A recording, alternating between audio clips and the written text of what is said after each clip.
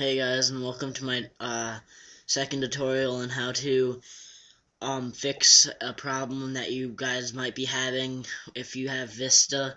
it's a blocker that um, like blocks blocks you got blocks programs from like accessing your files and stuff so it doesn't like add viruses and stuff. Uh, this will happen if you guys if you guys are trying to um, put your profile back into Xport 360 or Xplorer 360. First, you guys have to go to the Start menu, Control Panel. Make sure you're on Classic View. Scroll down. Go to User Accounts.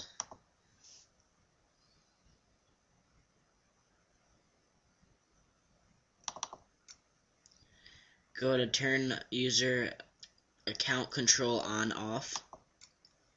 Make sure this is unchecked. Press OK. Then it will ask you to restart your computer.